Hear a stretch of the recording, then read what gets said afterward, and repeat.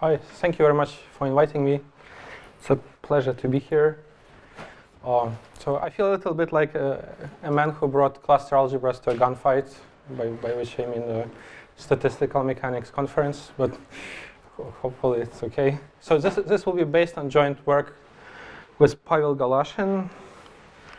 Is there like a, oh, okay, good. So, uh, and uh, I will try to tell you how one can ask uh, for certain integrability properties, one of which will be zero algebraic entropy in, in some kind of combinatorial systems. There will be two main examples of systems. And uh, hopefully, I'll at least a little bit convince you that it's interesting to do it. Uh, OK, so the first example is called T-systems. Uh, I will define cluster mutations for you. Many people have seen it. If you have, bear with me if you have, so I usually tell, tell people uh, at this point that if you have never seen it before and you see it first time, you, you would ask yourself, why on earth would you study that? Because like, that's what I asked myself when I first time saw that. Uh, but uh, it, it, seems weird definition, but, but it somehow you, you need to trust that this actually arises in nature, in fact, in many, many situations in nature. So we have a graph a directed graph, and the only thing we forbid is two cycles. So we, we, we forbid uh, to, to have uh, edge from C to D, but also from D to C. That's forbidden. And we call this graph quiver just because we want to. And uh, uh, we're going to define mutation of, the, of this graph as follows. So if you, if you pick one vertex, in this case, in this example, it will be vertex A. I guess here I called it V. So and we're going to change the graph as follows. We, for each pair of arrows which passes through our vertex, right? So there's one incoming u to v and the other one leaving v to w. Create a direct edge. Then second step, reverse direction of all edges adjacent to v. And this last step, if this condition I told you that there are no two cycles is violated, keep removing them until it's not violated anymore. Okay, so here we mutated A, there is pass through A, C, A, B, and there is also pass C, A, D we create direct edges CB and CD. We reverse all edges adjacent to A, we get this. And now the only thing which kind of troubles us is this two cycle over here, and we just remove it. Okay, this is the definition of cluster mutation. Again, if, if you see it first time, it's very unclear why would anybody do this, but somehow it turns out to be a natural thing to do. Okay, and to this one can also associate uh, any questions. So please stop me if, if this, if I like to be stopped, I can repeat something again. Right, so you can click, so you, you can, that's right. So you can click, you can choose vertex of your choosing, and you can click there. And there are actual apps where you can do it literally what I just said. You pick a vertex and you click. So if you click the same vertex again, you'll come back where you started.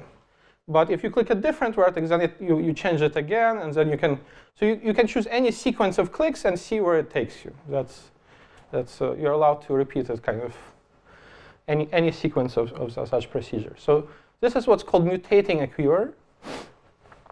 And to this, you can associate algebraic dynamics. You, you plant a variable or a number or, or at, at each vertex element of some field, and then as you mutate, you change the thing sitting in the vertex you're mutating, right? So if you you don't change everything in other vertices, but in this particular one which you where you click, you put a new variable xv prime there instead of old xv, and they're related by this kind of exchange relation, right? Where this is product of all variables uh, on the other ends of outgoing arrows, and this is well, I guess this is incoming arrows, and this is outgoing arrows, right? So in this case, there are two arrows going to B and D, so you, you would have XB, XD, and then there is one coming from C, you have XC, and this is an exchange relation, right? So the new value XA prime is equal to this guy divided by XA.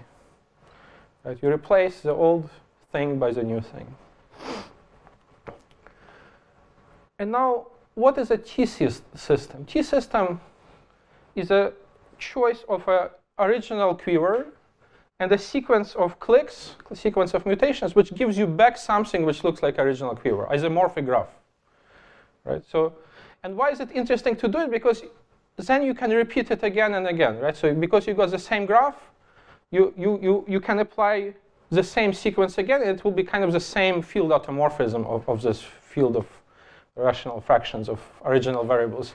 So, so once you have such sequence of clicks which brings you back to something which looks like what you started with, you can start repeating it, and then you can study what happens to variables as, as you keep repeating it, right? So uh, the simplest situation of a T-system is when you just do one click, and you get back something which looks like the original thing, right? So 2 is a new one, right? So does everybody see that 2 is a new one? So, right, so you just rotate it, but otherwise it's isomorphic. So the next time you would, if you want to keep going in this T systems, you would click on 2, and then 3 will be the new one, etc. And you just keep clicking around and around. Right, and, and, and then, well, that's just, again, illustration of how mutation happened, but uh, hopefully, I mean, I, I will show you again, I mean, uh, but, uh, and, and that's what happens to variable, right? So first time we click, this guy x1 changes into this guy. And hopefully everybody can understand why it's this numerator here, right? So there's outgoing to 3 and 4, come, incoming from 2 and 5, and that's why you get this thing. So, and then of course the next time you would click on x2, and x2 would change into something else, but in this something, it would be basically the same formula, but now we would use this guy uh, in the formula himself. So the formulas will be getting more and more complicated, at least in general. Okay, so in this talk, I will concentrate on one specific class of T-systems. So it's a very general notion, right? So all I ask is that you do a bunch of clicks, you come back to something which looks like you were started with. That turns out there's many examples for that. So we need to somehow to, to get, I don't know, tame results, we need to restrict ourselves to a class of such things. So our class of T-systems will be so-called bipartite recurrent, well, bipartite T-systems, which, which run on bipartite recurrent quivers. So what, what do I mean by that? I want my quiver to be bipartite in the sense, just sense of graph theory. I want to be able to color vertices black and white so that all edges connect white to black. Right? There's no white, white, or black, black. And I want, I want it so that if I click on all vertices of one color, I get back the, the, the thing I started with, possibly up to global reversal of all arrows. Right? And if you think about it, so first of all, since guys of one color are not connected to each other, it's easy to convince yourself that it doesn't matter in which order you click them. So I can really talk about just clicking all white vertices. And then, uh, so let, us do a little exercise. So what happens here when I click on all white vertices? As I click on those guys, well, first of all, the arrows which are there will re keep reversing their directions, and I'll be creating a bunch of edges from U to V, right? Because I have paths like U, W1, W1V. I'll be creating a direct path UV for each of those guys. But then for those guys, I'll be uncreating them, right? Because I'll be creating edges from V to U, and they will be canceling out because they form two cycles. And this way, after I click all the white vertices, I'll get the same thing completely as I started with up to global reversal of directions of all arrows. OK, do, do you want me to repeat this? This is like, it's clear? That's right. So if you do blacks, it also works, right? So if you do blacks, you create a bunch of arrows from W primes to Ws, but you also create a bunch of arrows from Ws to W primes. And they cancel each other out. So when you do it twice, it's important that this k is equal to this k to cancel all arrows. OK, so that's an example of bipartite recurrent quiver, meaning it's a quiver which is one bipartite, two, once you click on all of something of something one color, you get back something you started with. okay, so that's another slightly tricky example, much more like the ones we'll be considering in this talk. That, so this is a, so you, you can convince yourself that this is actually a bipartite recurrent quiver, right? If you, let's say we click on white ones. I click on A, I will create arrow from C to B, but I will destroy this arrow if I click on D. But I will create arrow from C, F to C, but I will destroy it when I click on E. So again, I will actually, well, the, all the arrows should be reversed here, but uh, it's, uh, let's just forget about that. So as I click on all white guys, I get those new values. And then if I click on all black guys, I will get those values, etc. So, and by the way, as you. Can, can you simplify? So in this case, so yeah, you, you can. So I'm actually about to say something. So, well, th this, I, I mean, I just chose not to simplify it here. But so on the next step, you already will be able to see certain magic which happens in cluster algebras. So there is something called Laurent phenomenon, which means that you will keep getting rational functions that, well, after simplification, after you kill common factors in numerator and denominator, denominator will always stay monomial in original variables. Does it make sense? So, you, like, it's not surprising so far, right? So here we were dividing by d, so it's not surprising. It's no denominator is monomial, and here we, you know, we have a, e, d, c in denominator, which is monomial. So that's not surprising. But on the next step, when we mutate the white guys again, here we'll be dividing by c plus bf, right? So we, we will take this guy times this guy plus this guy, and we'll divide this by c by, by this guy. So uh, in principle, we could see c plus bf in denominator, but we won't. That, that's part of the magic of cluster algebras, that, that it always cancels out. And this, this is called Laurent phenomenon. And in fact, this is the first form of integrability we see in this talk. This is very close to what uh, people who study discrete integral, integrable systems call singularity confinement. So in, in, in fact, I, well, I could try to argue that any singularity confinement may be reducible to an instance of this if you choose your tau functions correctly, whatever that means. So, but, uh, uh, okay, so is this example clear? So this is what we'll be looking at. So now the simplest form of integrability is periodicity. Yeah? Is there a uh, simple way to see that, that this is going to cancel out? No, no, that's, uh, it's not super hard, but it requires certain tricky argument. It's called caterpillar lemma. And it was one of the sort of magical things about cluster algebra that this cancellation really does always happen. Yeah, it's not an easy, it's not an obvious statement at all. Oh, okay, so now we have set up this machinery. So we want to study T systems which have some property. And our first property will be just periodicity. Okay, so if we start, well, this is just uh, a reminder what our AD uh, Dynkin diagram. Forget uh, affines for now. So this is a simply laced uh, finite type Dynkin diagrams, and they will be so they will be our Legos, which will, with which we will be playing. So I'm going to tell you how to create T systems which will exhibit periodicity. Certain bipartite recurrent uh, quivers in which if you just keep clicking black, white, black, white, black, white, eventually you come back to where you started with and sort of uh, for, for no easy reason at all again. So there's, uh, it, it was actually, will, I, will show you the history. It was a conjecture for a while that this periodicity happens. And it looks like, if you run it on computer, it looks like there's some kind of bizarre random numbers in the middle until, you know, click number 20 when you suddenly get back the original numbers. So that's, it, it, it's, it's not obvious at all that for those guys it will come back. So let me tell you. So first of all, we'll be taking tensor products of Dynkin diagrams. So uh, Okay, so if, if I, I didn't carefully define it, it's, uh, but hopefully, I, I don't know, hopefully it's clear what I mean by tensor product in the just graph theoretic. So each horizontal slice here is a Dynkin diagram of, of uh, D5, type D5, and each vertical slice is a Dynkin diagram of type A3. Okay, does, does anybody want me to say something more about it? So even if you don't know what's D5 and A3, you, you, should see that each horizontal slice in one is the same thing and each vertical slice. And that's the sense in which we took the product. We took this. So it's, a, it, I mean, in combinatorics called Cartesian product of, of graphs also, etc. So hopefully it's on intuitive level clear what we do. And of course, for cluster algebras, we need quivers.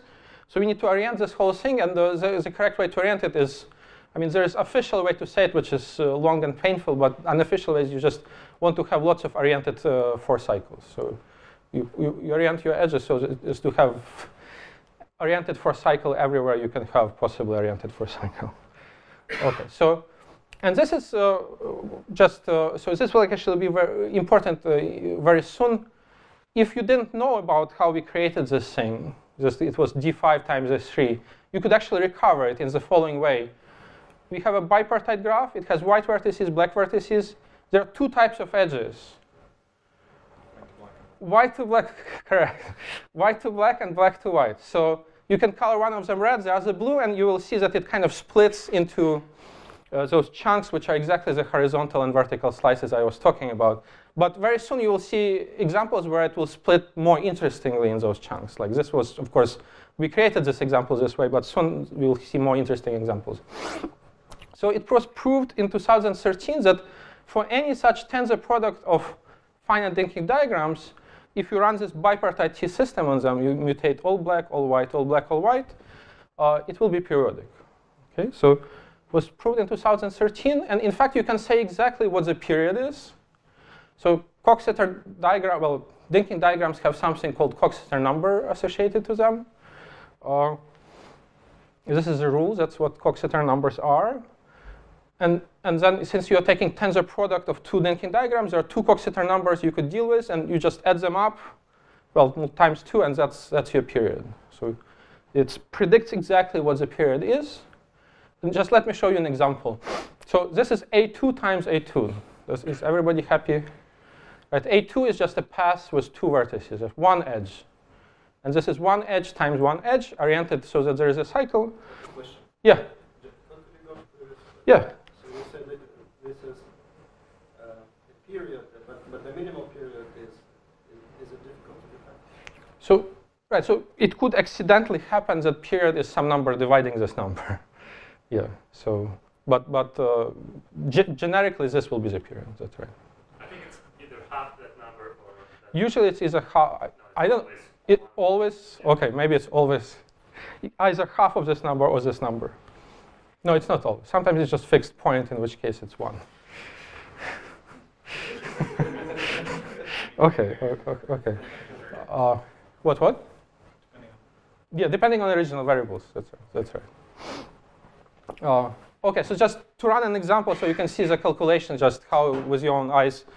Uh, so let's start with just this nice example. Put ones in variables, then mutate white guys. Where do I get this 2? It's uh, 1 plus 1 divided by 1, which is 2.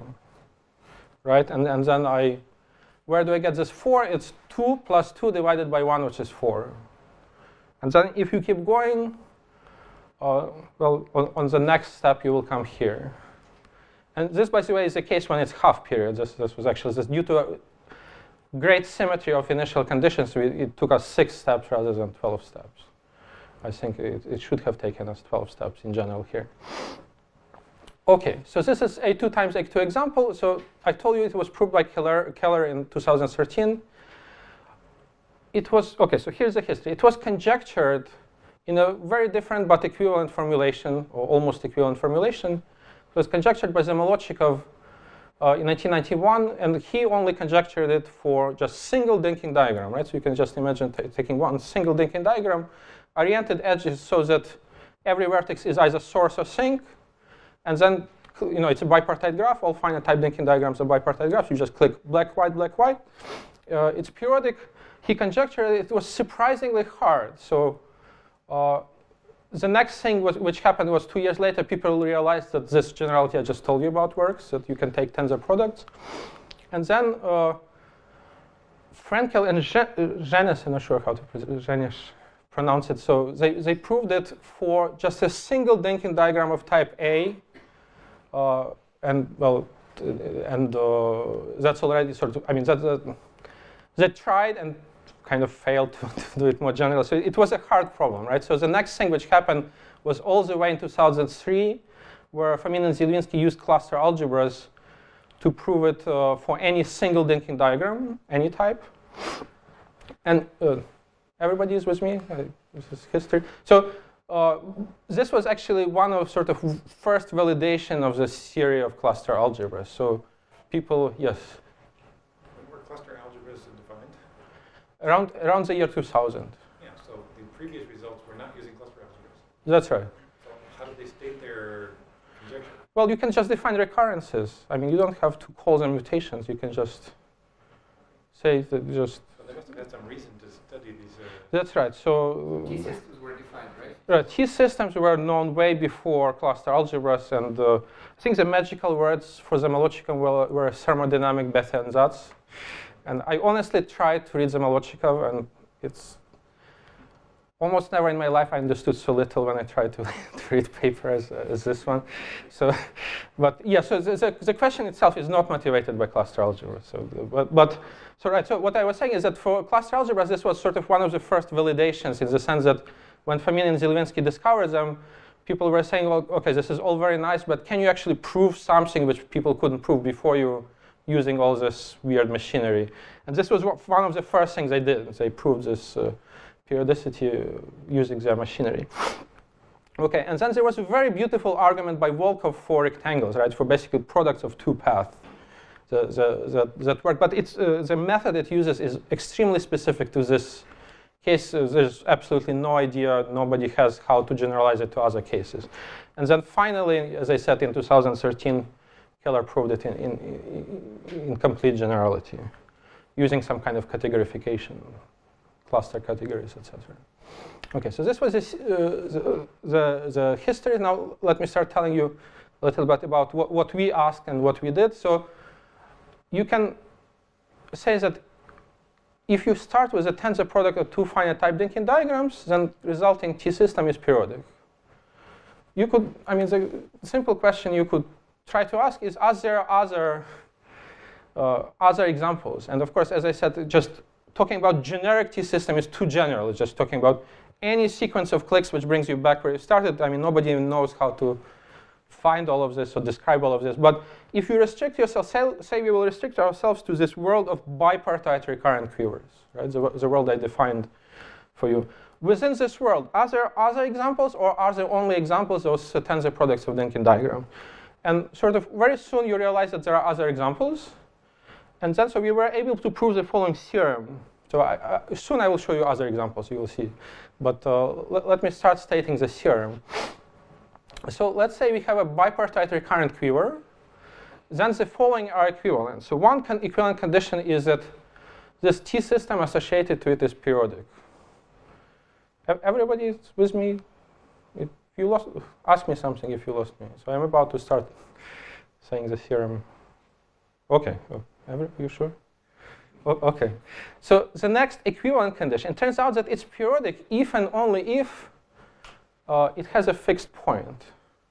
And in fact, out of all the things I will name, that's the only one which actually makes sense for any T system, not just bipartite recurrent. And I, I still believe in it as a conjecture that uh, the, the T system is periodic if and only if it has a fixed point. And by fixed point, I mean positive real fixed point. So let me show you how it works. So here's an example of from our current set of examples, A3 times A3. So I guessed that the fixed point will have uh, dihedral symmetry. In principle, I didn't have to, but this way the system is shorter. What does it mean to be a fixed point? It means that wherever I mutate, I get the same value back, right? So if I mutate here, I should get A. So A squared should be equal B to plus B. And B squared should be equal to A squared plus C right? And at C you get this, and then you solve this system. It turns out it has positive real solution. So, and, and then if you were to try, try this trick with something which is not periodic, you would see it doesn't work. There's no positive real solution. Okay, so that's one equivalent condition. And you say, so when you say fixed point, there's a, are you, are you assuming that, is there a theorem that every fixed point is, has, is positive real? No, no, you have to specifically ask for positive real. So the theorem says it's periodic if and only if it has a positive real fixed point. So it says nothing about other fixed points. All right. So the other one is that it has strictly subadditive labeling. So again, let me show you what I mean. It just means that uh, at each vertex, I want to put a number such that twice this number is bigger than the sum of blue neighbors, and twice that number is bigger than the sum of red neighbors. So if you've seen it, so there is uh, kind of well known to people in Lie theory, uh, so-called Vinberg's uh, way to define Dynkin diagrams. Uh, it's kind of, this is just a sort of two-colored version of that. So Vinberg says the following. He says, uh, take a graph, just undirected graph, and you want to put positive numbers at its vertices so that twice number is bigger than sum of his neighbors for each vertex. And it's, it's sort of remarkable that such simple condition cuts out, I mean, it's not, I mean, people who know it's not that remarkable, but it's kind of remarkable that it, such simple condition cuts out for you exactly EDE Dynkin diagram. So example, all other ways to get AD, EDE, ADE uh, are excruciating. Like if you've ever seen how Lie algebras are classified semi-simple. So it, it, like is the simplest way I know to, to define this ADE set of Dynkin diagrams. So here we do the same, except we separately ask that twice each number should be bigger than sum of blue neighbors and sum of red neighbors, where blue and red is as I defined before. Right? And then you can find the solution in this case, and, and more generally, so the theorem says that you can find a solution if and only if uh, the T system is periodic. Okay, and uh, and the last condition is that it has to be a finite box product finite quiver, which says the following. So remember I told you that if we didn't get this quiver in this tensor product way, let's just somebody gives us some quiver which is, uh, has underlying bipartite graph. There are two colors of edges. You know, there are, well, there are black to white edges and there are white to black edges. And respectively, uh, we can color them, I know, red, red, and blue, and then we can uh, look at uh, red components and blue components. And what we can ask is that red components and blue components should be finite type Dynkin diagrams. And if it's so, then we call it finite box finite quiver. Okay, so of course, th this was a silly example because that's how I built this. I, I took a product of uh, two things. So of course, red and blue components will be two uh, will be all will be finite type Dynkin diagrams, but turns out there are other examples. So here's another example. This is not a tensor product of two Dynkin diagrams. Okay? So and in fact you can see it because uh, there are red components and they're all finite type Dynkin diagrams, but they're not all the same. Like right, this, this is type D guy and this is also type A guys. And similarly for, for blue components, uh, this is type D and all of those are type A. Uh, so this is an example of finite box finite quiver, which is not a tensor product. And uh, the theorem says that uh, this T system associated to this is periodic. It's easy to check that it is a recurrent bipartite quiver, meaning that if you mutate all white or all black, you get the same thing again. But uh, uh, right, so I guess you, you, if you run it on a computer, you'll see that eventually you, you come back to where you started. Okay, no, no questions so far? It's a funny name. Why finite box finite? Yeah, it, it just, uh, it was signed kind of like Times, but Yeah, sort of. it was, it was not very good name, but, uh, but I, I mean, there was a paper before us which used something like that. That's why we used it. So- Tell us about the periods. I will tell you right now about the periods. That's right. That's a good question. So in fact, you can tell, I can tell you that the periods are the same. It's a sum of two Coxeter numbers. Okay, so now at this point, you should tell me that I'm lying to you, right? because before, you know, before we had all red guys look the same and all blue guys look the same. So they, there was a red Coxeter number and a blue Coxeter number. But it turns out that two, say, blue guys can be different, but inside the same thing like that, only if their Coxeter numbers are the same. So there's still red Coxeter number and blue Coxeter number, even though they, they're not all the same actual graphs anymore. So here's how it looks like. So in this case, we have what? We have D6, and we have A9 and A9. So for A9, Coxeter number is 9 plus 1, which is 10, and for D6, it's 6 times 2 minus 2, which is also 10. And, right? and similarly, there is the same Coxeter number, the blue Coxeter number. So the period is still the same, which in this case will be 32. Um, okay, so but, okay, this is still unsatisfactory in the following cells. I told you that one thing which nobody knows when it happens, happens when three other things which nobody knows when they happen, happen. So that, that's not a very, very satisfactory answer, but it turns out that those guys, finite box finite guys, they can, they can be completely classified. Basically, there is five infinite families and 11 exceptional cases. One of the infinite families is the one I told you, tensor product of Dynkin diagrams. There is four more infinite families and 11 exceptional cases. This is the biggest exceptional case. You can see a bunch of E8s in, in, this picture. So this is, so in fact, this classification is not due to us. It turned out that uh, in a completely different context, it was already existed in the literature. So John Stembridge was looking at W graphs for products of dihedral groups. And it turns out that finding them is equivalent to the following. It's finding pairs of finite type Cartan matrices which commute. And if you stare at our question long enough, you will see that we are also looking for pairs of Cartan matrices which commute, finite type Cartan. They don't have to be connected, right? So there's, a blue Cartan matrix and a red Cartan matrix. They're both of finite type. They're not connected, right? Each of them has some blocks because they are connected component, red, red chunks and blue chunks. And, and the commuting means that just this quiver is recurrent. If you click, you get back the same one. So, and it turned out that this question, so this classification already existed in the literature, and this is one of the examples from it. So let me move on to other kinds of integrability. So, right, so this was uh, the end of uh, periodicity uh, portion. Any questions before I move on? So, yeah. If you don't mind. Yeah, yeah. This is period 120, right? If I click 60 times, I'm sort of maximally wild coefficients. Do you have some sort of understanding of what those uh, coefficients mean? Like intermediate values? Yeah. No, in, in fact, I think they would be way too large for your computer to do it uh, as variables. Yeah, I, I think that's right. So no, we, we, we don't. I, I don't think we do. Even numbers, too large. Even numbers would be too large. But I mean, so No, 2 to the 60 is not that big. well, well it, it grows. Oh. definitely too large. It's The it, numbers, it's lar- more like two to two. I, I know it, it's large. it's pretty large. So, uh, so in type A, in type A, this uh, A time A grid, and doing this black, it's basically like octahedral recurrence. So in that case, at least if you didn't have a boundary, there are explicit formulas, and we actually use it to prove some things about this specific. But in other types, and especially for those exceptional ones, we have no idea what the formula would be for intermediate uh, time. Okay, so now the simplest way of, like, I guess the, the first part was about periodicity, which is the simplest form of integrability.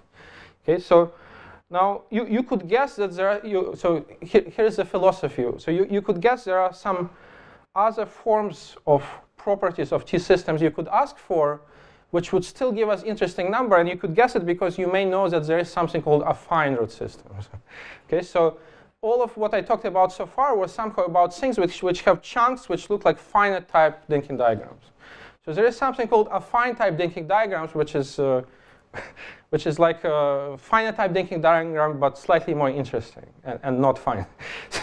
so uh, what, what you could ask, just like I defined finite box finite quivers, you could ask what are the finite uh, box affine quivers or affine box affine quivers, right? And then this is sort of roundabout way, but, but then you could ask what property should you ask of your T T system in order to get exactly that classification. And so here's the answer. So we know the finite times finite case corresponds to periodic T systems. Uh, affine times affine case, let, us do a simple example. So this is just uh, A11, a fine root system of type A, times A1, which is finite. So if, if you run it, it looks like this. So the formula is just you take the other guy squared plus 1 over the old guy, and you keep alternating. So if you start running it, you, you know, 1 squared plus 1 over 1 is 2, 2 squared plus 1 over 1 is 5, etc. And you may recognize those numbers. Do people recognize those numbers? Those are like every second Fibonacci number or, or, or something. So and the important thing is that they satisfy this linear recurrence. So in fact, this will be the property we, we will ask. So we, if we have a T system, let's ask for the following property. Pick any of its vertices. You have some sequence of variables. As time goes, you get some sequence of variables there. They form, form, form a, sequence Ask that we want each such sequence to be linearizable, right? To satisfy linear recurrence with uh, fixed coefficients. Uh, and this will, so somehow I will tell those conjectures slash theorems soon, but this, this will correspond to finite times affine case. Is, uh, is periodic also linearizable? Yeah, so periodic is linearizable because you satisfy recurrence a i plus n equals ai, which is a linear recurrence. okay. No, that's a good question. That's, that's, that's, that's, that's correct. So now, okay, so what, what would be the property you would ask to get affine times affine classification? So it turns out it's this, well, let's first do an example. So if you try to run the example with just this kind of symmetric initial conditions, you see that it grows really fast, and particularly there's no hope to be linearizable, which is expected because it's not in finite times affine thing. So, but what, what's true is that it grows as exponent of a polynomial. And so in, in a second, I'll define what, what it means to have zero algebraic entropy. And it turns out that somehow the correct property to ask here is zero algebraic entropy. And then there's everything else, which is neither of those. And if you try to run everything else, uh, it grows too fast, too fast to be nice. At least I, well, I, I don't know in what sense it would be nice. Does does? Oh, say it again? How to factorize it? N- Didn't try. I don't know. I, I, I don't know how to factorize this number. So, so we, we'll call this wild case, right? So it grows as exponent of exponent. So this is sort of foreshadowing of a theorem. Another foreshadowing, I'm reminding you what uh, affine Dynkin diagrams look like. So the only thing, we, we, we don't use uh, odd cycles in type A because they're not bipartite, but otherwise it's just affine Dynkin diagrams. Yeah. What do these coef- do these coefficients look like if you reduce the modular of prime number? That's an interesting question. I do not know the answer. So I think uh, the problem is that to iterate the cluster mutation, you need to divide, right? So and if you wanted to do it with mod prime number, you may run into a situation where you're dividing by zero. But but then of only have integers, right? but but on the other hand, if you just pre-compute it with integers and afterwards take it the modu- modular prime number, that could be interesting, and I don't know what the answer is. Uh, It's a good question. So it's possible there is some interesting properties to look for in, in that in that language. Okay, but, but let me get back. So one last thing before I start sta- stating uh, the most general theorems and conjectures. So what does it mean to have zero algebraic entropy? So let's say we have some kind of algebraic dynamical system, but we, which I mean we just have some rational map which we keep applying again and again and again.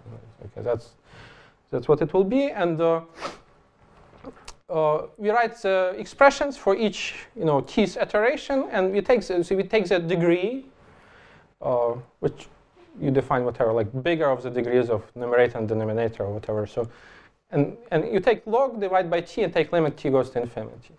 Okay, so and uh, the turns out that somehow in, I, I believe that it's there is a theorem to the extent that in some class of such systems, in order to be integrable in uh, Arnold Liouville sense, in, in which people like to consider integrability, you have to have zero algebraic entropy. So, so it's a question sort of uh, whether you consider this definition of some form of integrability or, or, or, or sort of uh, what, what's called the sign for integrability defined some other way. So, so I personally think word integrability is just equivalent to magic. It's just there's some stigma to saying magic, so people say integrability. But uh, so, but uh, I think of it as a as a form of integrability. So having zero algebraic entropy is, a, is one form of integrability. So here's our conjecture. Slash soon will be. I'll list which parts of this are theorems. So which is implicit in what I just told you, right? So this part we already know that it's finite box finite if and only if it's periodic. And in fact, we, we, we, we know complete list of finite box finite, finite quivers. It's affine box affine if and only if it's linearizable. It's affine box affine if and only if its algebraic entropy is zero. And it's wild otherwise if, if algebraic entropy is bigger than zero. Okay, so I told you the first part is, uh, is what I told you already in this linearizable finite times affine world, we can actually prove what would you think what you would think is a harder direction. So we, we can prove that if it's linearizable, it must be a finite box finite finite quiver. In fact, we have complete classification of those. So we, we have a zoo of uh, things where we say if you're a linearizable bipartite system, you must be in this zoo. So what we don't know is that everybody in this zoo works. So and it turns out so basically yeah, I mean, we, we know it in type A times type A thanks to those, those explicit formulas which exist in this case, but in, in other cases, uh, uh, well, I guess there are other, so we, we only know it in uh, type A times type A case, basically. That's uh, the statement. And, and that similar thing happens in affine times affine situation. If you have algebraic ask for algebraic entropy zero, we can prove that it has to be in certain zoo of all things which are affine times affine, which we can classify Uh, but we don't know that uh, everything in this zoo actually has zero algebraic entropy. Yeah, I think here it's more important that we don't have explicit formulas for that. Okay, so to show you some of the, so this is uh, a member of the zoo for a- affine times affine. This is a, a toric, like a toric uh, quiver, right? So all the red components and all the blue components here are type A Dynkin diagrams. It's just a kind of a torus, but there's uh, like also you have a freedom of do this twist, kind of uh, to glue, the, glue it not exactly right, kind of.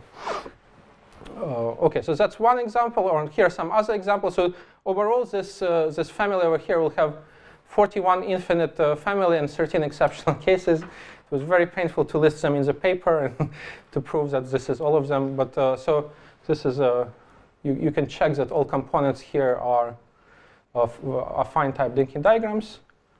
Um, this is results. Okay, so this was the end of this this section, but I, I, this is sort of a positive note. I mean, besides the pretty pictures, we were able to do the following. We, we were able to define certain class of dynamical systems, ask for certain property to hold, and to completely classify things which have this property. okay, so and so, so I, I guess part of the point of this talk is that it's an interesting game to play, and also, especially if it works out and you get actual classification. So let me show you another uh, another class of systems. We were tried to play the same game. We couldn't pro- prove as strong results as classification, but we still found some interesting things by trying to ask the same question. So let's not, so now I will switch to a different type of recurrences, which I will call R systems as opposed to T systems. And any questions before I start on those? So th- this will be much shorter. sec. We have less results on this, but uh, any questions? But it actually is more related to some of the things which have been talked about, uh, like geometric crystals, etc. Well, or not talked, but Yeah. Question for the third kind of families that you have, so the ones where uh, of something like x plus some polynomial are the, the as a growth, right? mhm. Are the recurrences that you get actually holonomic? As a what? Are they D-finite? Because this kind of asymptotic behavior is typical for D-finite functions, right? Uh, So the sequence. I don't remember what D-finite means. the answer is no. Okay, Igor knows the answer. A linear differential equation. Okay, I, I see. Or difference can. So, so different. Igor studies actually somewhat related questions, and I, yeah, I'm, I'm sure if he says no, then the the answer is no. Okay. Uh, okay, so let me start talking about R system. So R stands for some for for the word rowmotion. So we, uh, Jessica in our audience was one of the people who came up with this term. Uh, we, we call those things R systems because they're slightly more general than rowmotion, or somehow they rowmotion in a more general setting. So let, let me tell you, so it again will be run some, on some kind of directed graphs. And it's an interesting sort of thing to, to I mean, it's related to, to for example, things Ivan Corwin talked in, in his talk, etc. Even, even if I won't show you how it's related, it's related. So let's consider a strongly connected directed graph, right? So you can get from any vertex to any other by following the edges uh, along the arrows. And we're going to define the following uh, system of equations. Okay, so and this is not a recurrence, strictly speaking. This is a system of equations. So what am I saying here? So uh, dash means uh, future, right? So we, we are in the present, and there's the next step, which is a future.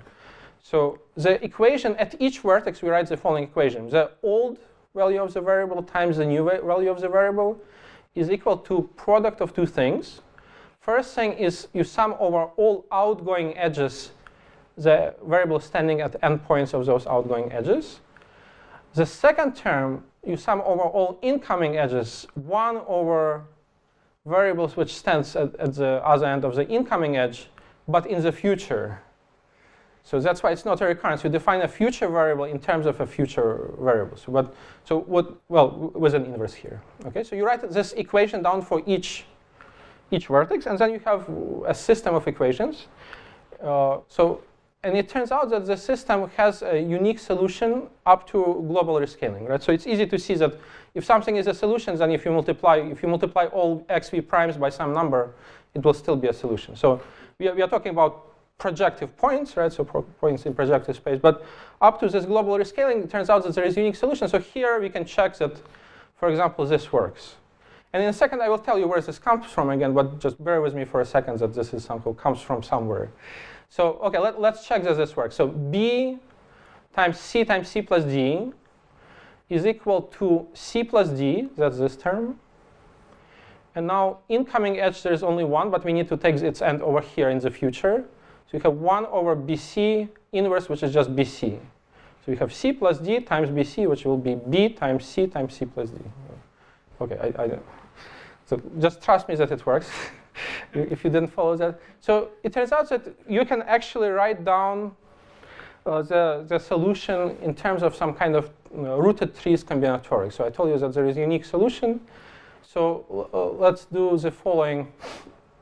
Uh, uh well, OK, I guess let's read this first. So, well, I guess I didn't write. So we are going to consider something called arborescences rooted at uh, vertex v and denote them this way. And then the theorem is that uh, one way to write sort of to the solution is that xv prime is equal to 1 over sum of all uh, weights of all our arborescences rooted at this vertex. Where I need to tell you, so arborescence is just a directed tree towards this vertex, right? So it's a tree, uh, spanning tree, and it, uh, all edges must point in the direction of this root.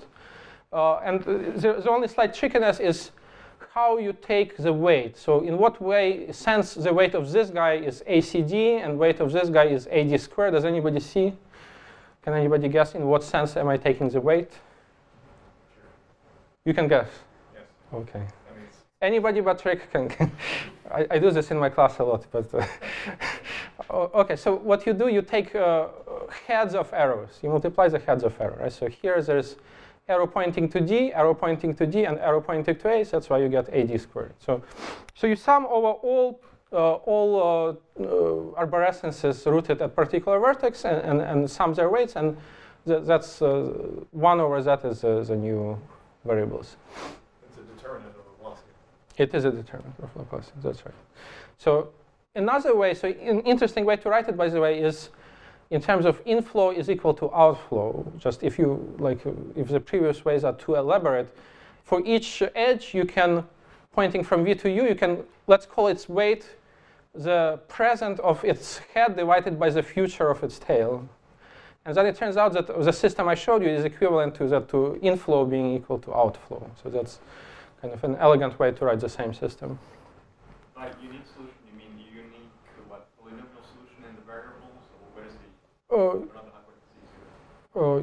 unique uh, polynomial solution. Yeah, I. Because suddenly there's a bunch of solutions to any set of algebraic equations, so you have to put some constraints to it. Uh, no, I don't think so. Well, the system is typically linear. So yeah, the sy system is very close to being linear. Right, well, that's very close. I guess I didn't start it enough. But yeah, yeah, under a change of variables. That's right. No, I, I think we literally mean unique solution, except up to this rescaling everything by the same number. So that's that's the claim. Okay, so that's uh, the thing. So again, I, this is an example with uh, how much time do I have? I don't have much time, so I'll just skip this. So this is I just show you how this arborescence formula works. Let me just show you what's interesting about this. So uh, what what it's related to. So uh, those uh, R systems, they, they originally something like that existed on partially ordered sets, and uh, the most important of them, which being the Gelfand-Tsetlin patterns. So, you, and they consisted of multiple application of operation called toggling.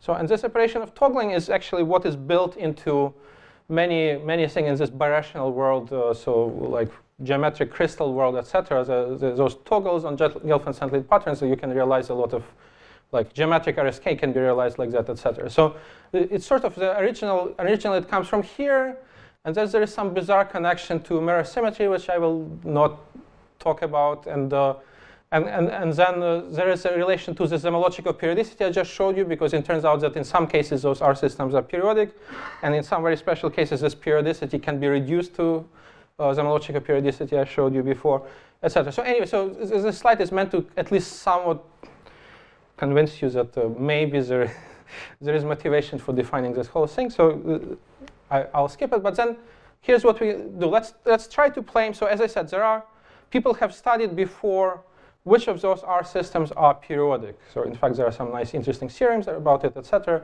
So, but let's try to play the same game with algebraic entropy. in this, Right? right? So we'll just pick a direct, uh, strongly connected directed graph, run the thing on it, and then just to try to plot By run, sorry, by run the thing, you mean just uh, polynomials. Like, the future in terms of the past. yes, just you, the future of the future is the next. yeah. You iterate this arborescence map. That's right. So you get future of the future of the future, and you keep big, getting bigger and bigger formulas, and then you just ask your computer to plot the degree versus time, and then this is how the answer looks like if it has zero algebraic entropy. That's how the degree looks. Uh, uh, square root of uh, degree. So you can see that actually degree grows, grows quadratically because square root loo- looks linearly, and then of course logarithm would, would, go to zero if you divide by t. So zero algebraic entropy. In this case, algebraic entropy would be zero, while the non-zero case looks something like that. If, if you, this is how the degree looks like. If you take some kind of root, it will still grow pretty much the same way, and then only after you take log, it grows linearly. So if you take limit of z divided by t, it will not be zero, it'll be some other constant, the slope of this thing.